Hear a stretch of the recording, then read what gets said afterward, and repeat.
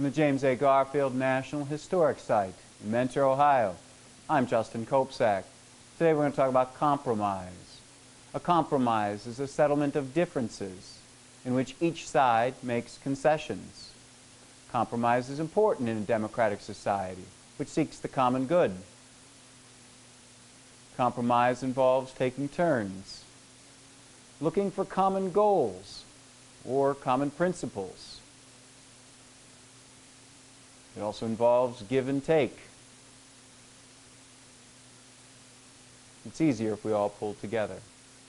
From the James A. Garfield National Historic Site, Mentor, Ohio, I'm Justin Kopsak. Thank you for watching.